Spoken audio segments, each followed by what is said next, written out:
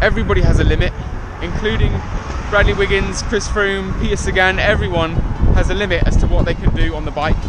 And when you know your limit, that should be exciting because when I know my limit, I know that's where I should be putting all my energy and I know it's the fastest way to grow. The guaranteed way to not stagnate and plateau is to find your limit and push it, to keep nudging at your limits. And so, just around this corner, there's a five minute climb that I'm going to try and push 400 watts up, and that is that is nudging at my limit. I'm here because I ask myself every single day, where is my limit?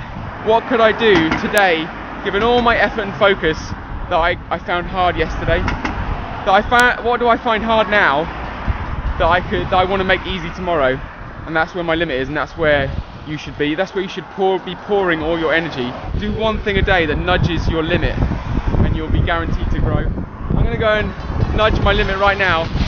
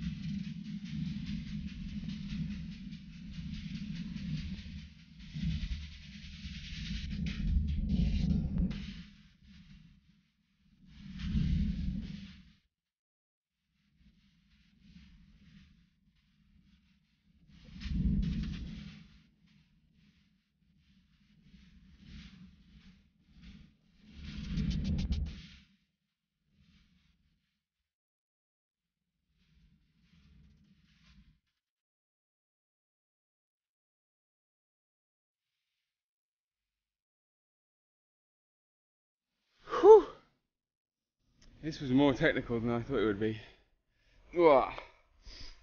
But it was fun. I love pushing my limit. I love having I love it when you get a little bit nervous when you're about to do something because you know that it's gonna hurt. when it's gonna hurt, you're gonna get results.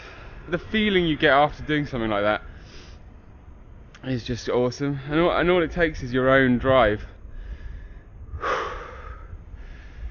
Yeah, it's good, man. I totally recommend pushing your limit every single day. It doesn't even have to be anything like this, you know. In whatever you're doing, you want to grow, and the fastest way to do that is to push at your limit. Push where it hurts, push where you're nervous, put all your energy in that direction and you're going to grow and get results. Whew, feel good. Don't know how I did. I guess we'll find out when we get back. Thank you for watching. I cannot wait to see you in the next one.